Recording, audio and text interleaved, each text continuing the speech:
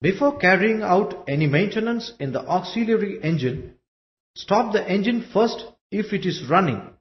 If the generator is standby, then put the local control lever to stop position. Change over the remote control switch to off position from auto. Display a warning board showing when at work. Shut the air outlet valve in the air receiver. Shut the start air valve. Open the indicator valves. Take out the turning bar from its normal resting position.